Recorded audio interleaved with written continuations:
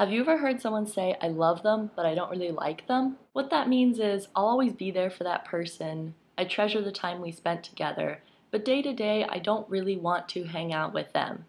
I believe firmly that we should love ourselves and also like ourselves. Be someone you want to hang around every day. And there are so many reasons why you should like you. All you are right now is enough. You are the only person on the planet who sees things the way that you do, speaks the way that you do, smells the way that you do. At some point in your life, you have overcome hardship and you're still here. At some point, you have made someone laugh. You are someone's child. You are capable of more than you ever believe is possible. You are the smile to someone's day. I promise you there's someone who looks forward to seeing you every single day. I promise you. You bring a unique set of views to the table. I can do many fantastic things, but I can never bring to the table what you can. Only you have your unique life perspective being you will always be in style. You will change the world. The world is different because you are in it. You can solve a problem that no one else can. Only you have your history and you're the only one who ever will. No one will have seen what you've seen, done the things you've done, and brought to the world all that you do.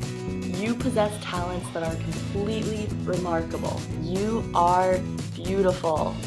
I'm sorry, I don't think you heard me. You are fantastic.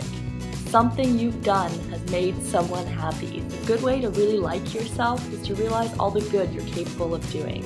You can wave at a driver on the street and maybe they'll be happier and have less road rage. You can always compliment a stranger. I love to do it. It embarrasses my friends, but it makes everyone happier. Plant something, dress brighter and happier. Volunteer for something. I like to volunteer at the library, but soup kitchens are great too. Remind someone that you love them. Show patience when others are frustrated. Carpool or ride your bike to save gas. Smile.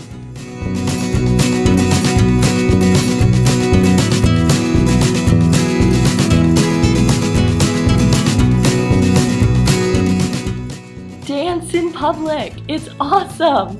Make art. Sing. Give food to someone who's asking for it, or money if you're able to. Pick up a piece of trash that you find. And don't be someone who litters. Pay for the person behind you in line. Do a chore for your roommate or family member. Write a letter to brighten someone's day. Pay for someone's parking meter. Show compassion instead of anger. Tell a joke or lots of jokes. All the jokes. Teach someone something that you know how to do. I'm really good at popping my gums super loud. I would love to teach you. Learn someone's name and remember it. Maybe someone at a restaurant or the grocery store or your bus driver.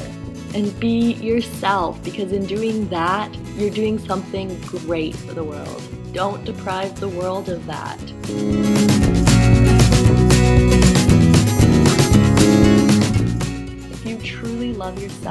So much else will fall into place. Liking yourself means making good health choices and pursuing things that make you happy and being someone that everyone wants to hang out with. Most importantly, you have to want to hang out with you. Hanging out with me is awesome. I get to do it all the time. And if those aren't enough reasons, you should like you because I really, really, really like you. Meow.